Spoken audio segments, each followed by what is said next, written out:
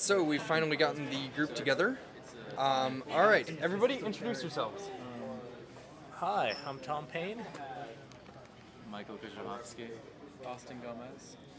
Champagne. Michael Bach. All right, and right now we're brainstorming ideas for the story that we are going to tell this weekend.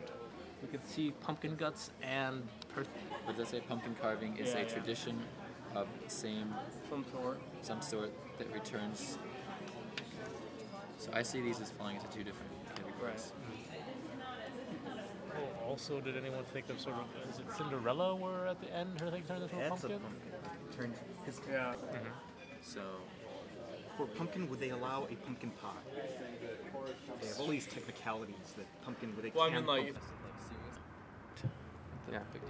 Like I don't. I think I think I'd like to have like more. They ain't coming. So how many groups?